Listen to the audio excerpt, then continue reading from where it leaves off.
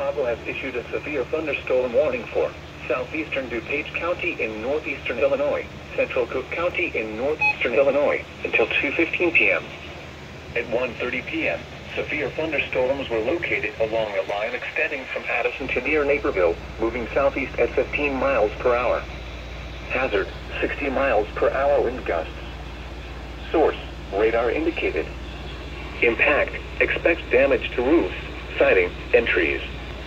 Locations impacted include Naperville, Bolingbrook, Berwyn, Wheaton, Oak Park, Downers Grove, Elmhurst, Lombard, Addison, Glen Ellyn, Westmont, Maywood, Lisle, Villa Park, Brookfield, Franklin Park, Hinsdale, Westchester, LaGrange, and Forest Park.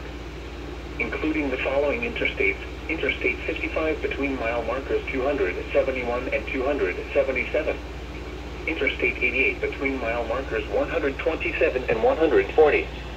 Interstate 290 between mile markers 8 and 22. Interstate 355 between mile markers 15 and 28.